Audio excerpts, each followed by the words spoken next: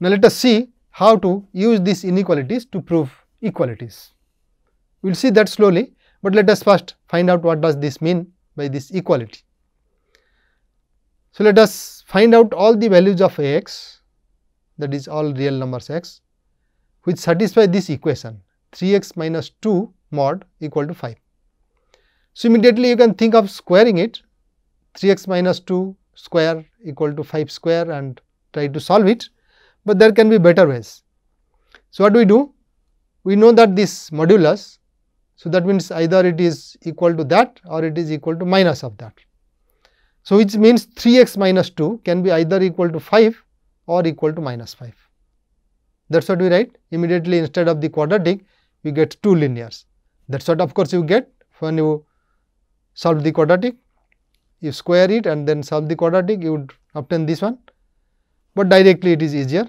So, 3x minus 2 equal to plus or minus 5, then that will be easier to solve. Not 2x equal to 2 or with plus or minus 5 that gives two possibilities. So, 3x equal to 2 plus 5 which is 7 or 3x equal to 2 minus 5 which is minus 3 then you divide 3 to get 7 by 3 and minus 1.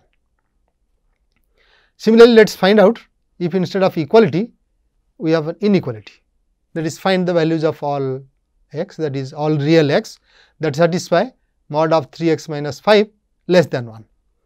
Now, you can use your sixth one which we mentioned earlier x minus a mod less than delta means x belongs to the delta neighborhood of the point A. So, we will use that and see what happens.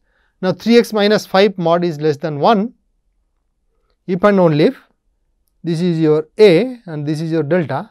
So, a minus delta is less than x is less than a plus delta. Now, our x is 3x. Okay, so, you get 5 minus 1 less than 3x less than 5 plus 1. These are all the possibilities and that you simplify to get 4 by 3 is less than x less than 2. So, these are just simple things how we get equalities, how do we get inequalities with modulus. In fact, there is a way in calculus sometimes we find it is very difficult to prove equalities, but it will be easier to prove some inequalities. So, in those cases we must know how to apply or how to obtain an equality from inequalities. Always we cannot get of course, but there are some cases where this is possible. So, let us see those cases. So, suppose for every epsilon greater than 0, every positive epsilon, you find that mod of some real number a is less than epsilon. It is a bit difficult to understand. What it says, you have some real number somewhere a and you see that its absolute value, absolute value is always on the right side that is less than epsilon for every epsilon. So, what will happen to the absolute value? Instead of a, let us consider mod a. Mod a is non-negative and that is always less than whatever epsilon you take. So, if this is my mod a, mod a, now mod a is less than epsilon. Epsilon is what? Let me say 1. So, epsilon is 1, I have mod a is less than 1. But I also see that for every epsilon mod a is less than epsilon. So, if I take epsilon equal to half, mod a cannot lie here, mod a has to lie here. So, this is not mod a, mod a can be here. But I take epsilon equal to 1 by e four. then mod a cannot be there, mod a has to be here. So, it proceeds that way, it gives a feeling that what happens to this mod a. So, what it says, it cannot be anything positive, it has to be 0 only. If it is anything positive, we can choose always another epsilon which is smaller than that. Then mod a should have been smaller than that epsilon. Exactly that is the proof. So, let us see how to proceed. We will come back to this. First, let us prove. So, assume that for each epsilon greater than 0, mod a is less than epsilon. We are now trying to prove 1. We will come back to 2, 3, 4 in a minute. So, assume that for each epsilon greater than 0, mod a is less than epsilon. Now, what do we do? If mod a is greater than 0, we want to prove that mod a equal to 0. But mod a can be either equal to 0 or can be greater than 0, it can't be negative. So, the other case remains is mod a is greater than 0. So, suppose on the contrary that mod a is greater than 0. Then what we do? So, we are really using that geometry what we have discussed. We have 0 here. So, now mod a is greater than 0 given. So, mod a is here. So, what do we do? We choose our epsilon to be something smaller than mod a. Let us say epsilon equal to mod a by 2. So, for this epsilon, what will happen? Mod a should be less than epsilon. So, that means mod a should be less than mod a by 2, but this is a contradiction. Therefore, mod a cannot be greater than 0. So, mod a must be equal to 0 and mod a equal to 0 gives a equal to 0. So, that is how it answers our question that if mod a is less than epsilon for every epsilon, what about a? a has to be equal to 0. That is what it says. Now, let us look at the second statement. Here we do not have every epsilon greater than 0, but it says something about natural numbers. It says that mod a is less than 1 by n for every natural number n as we have done there. So, that means mod a is less than 1, mod a is less than half, mod a is less than 1 by 3, mod a is less than 1 by 4 and so on. Then it says that mod a cannot be positive, it has to be equal to 0. If you are able to fill it correctly, then what it says that we have done for every epsilon. Now, we are not giving for every epsilon, but for some very particular epsilons, but they are still infinite in number. They are in the form 1 by n for natural number n. Of course, you can use Archimedean principle. If you have any 1 by n, if you have epsilon positive, then you can choose one n such that 1 by n is smaller than epsilon. So, this really should give rise to the answer. In fact, we will prove that through Archimedean principle. Let us see how to go about it. If for each n in n mod a is less than 1 by n, we want to show that a is less than 0. So, what do we do? Assume that for each n in n mod a is less than 1 by n. Our aim is to show that a equal to 0. As our experience shows, we should try to show mod a equal to 0.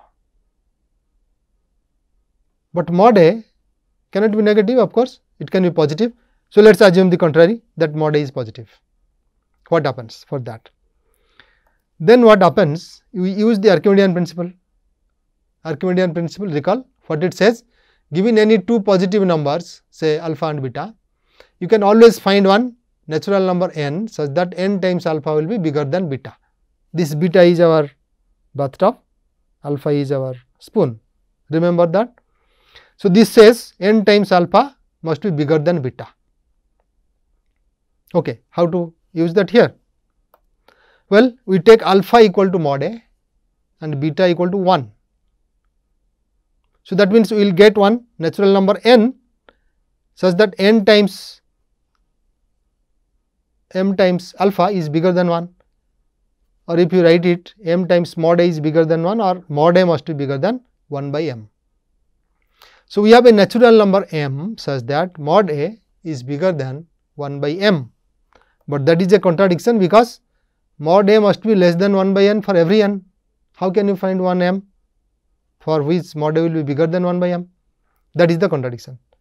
So, that contradiction shows that mod a is greater than 0 is wrong. So, mod a equal to 0 and therefore, a equal to 0. Similarly, you can show the other properties okay, which are I am again reproducing it here. We can prove that for every epsilon greater than 0, if a is less than b plus epsilon, then a must be less than or equal to b. Now, we are not looking at mod, but directly the real numbers a and b. So, what it says a is less than b plus epsilon for every epsilon. So, you can as well think of epsilon very near 0. It is less than everything bigger than b. So, it cannot be bigger than b, right. If a is bigger than b, suppose a is here and b is here, a is bigger than b, then our condition a is less than b plus epsilon will not be satisfied for some epsilon. How can we produce such an epsilon? A is less than b plus epsilon will be contradicted because b is smaller than a. A is bigger. So, what I do? A should be b less than b plus epsilon. But if I take epsilon to be larger than this distance, then A is again smaller than or equal to that epsilon. So, I take something here. This is my b plus epsilon. Now, what it says? It said A is bigger than b plus epsilon, but A should have been smaller than b plus epsilon. So, that is how you have to choose your epsilon something like A minus b by 2 which is when added to b will be still smaller than A and that will be the proof. So, the filling matters what it happens here is if A is smaller than b plus epsilon. So, epsilon can be made smaller and smaller A has to be less than or equal to b. It cannot surpass b. It cannot be bigger than b. That is what it says. Similarly, the fourth one says instead of epsilon now any n, if a is smaller than b plus 1 by n for every natural number n, then a must be less than or equal to b. So, these are the four things. In one of these forms will be useful for showing that something equal to something or something is less than or equal to something, whereas we can produce only less than a is less than this, mod a is less than this, only that we have, we are able to prove.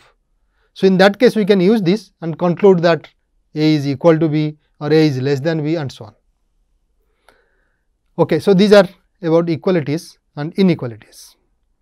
Now, let us use what we have learnt. So, the question is we have to find all x that satisfy this inequality that absolute value of 3 x by 5 minus 1 is greater than 2 by 5. Again you can square both the sides and do, but we have learnt better. So, what do we do? We know what is the meaning of x minus a mod is bigger than delta. So, this means x lies beyond the delta neighborhood, close to delta neighborhood, so to say.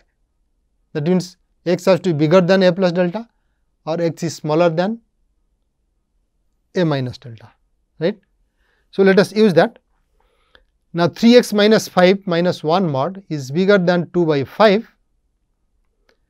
We use that it says 3 x by 5 is less than 1 minus 2 by 5 a minus delta or 3 x by 5 is bigger than a plus delta which is 1 plus 2 by 5. Now, both the things we have to solve and go on putting them or or. So, that gives x is less than 1 from the first one 1 minus 2 by 5. So, 3 x by 5 the right side becomes 5 minus 2 it is 3 by 5.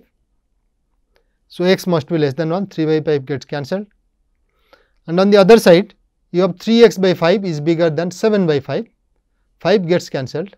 So, 3 x is bigger than 7 or x is bigger than 7 by 3. So, that means all these x satisfy this condition x is less than 1 or x is bigger than 7 by 3.